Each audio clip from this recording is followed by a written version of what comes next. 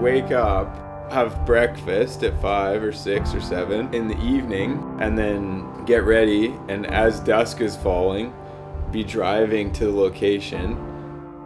Get out there and prep the lines and make sure everything's good, and then wait a couple hours for everyone to get set up and, and all the colors prepped for all the lights and we'd get set up and later and later and later and we'd start getting shots later and later and later and then by the time we were actually getting the shots that counted it was like five in the morning.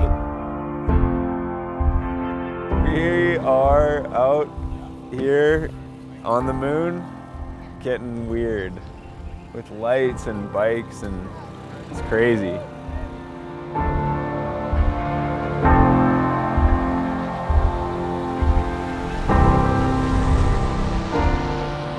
the dark light shoot is way different than any shoot that we've ever been on just for the fact of like the big crew and going nocturnal and having so many people like involved in one project. That was definitely different than most shoots that, that we were all involved in.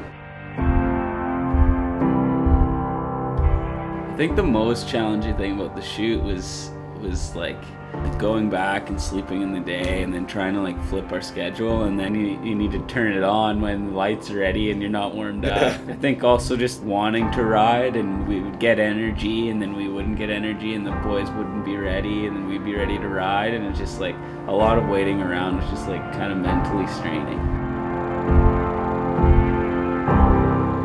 Were struggling sometimes because we wanted to succeed like we wanted to to make this thing really rad and we were trying and it was dark a lot of the time. It was just hard like one jump in particular we're trying to blast this hip in Oregon.